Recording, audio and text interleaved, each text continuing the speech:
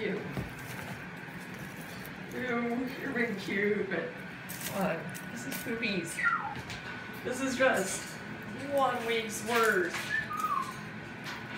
of wood shavings that the cockatoos have all shaved up.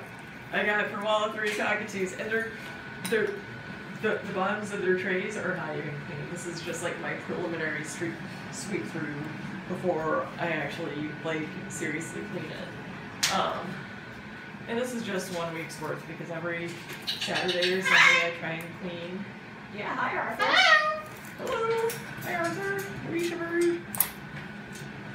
So, yeah, they are little mess machines, and this does not count the wood shavings on the kitchen table that Misha has made this week. Ooh.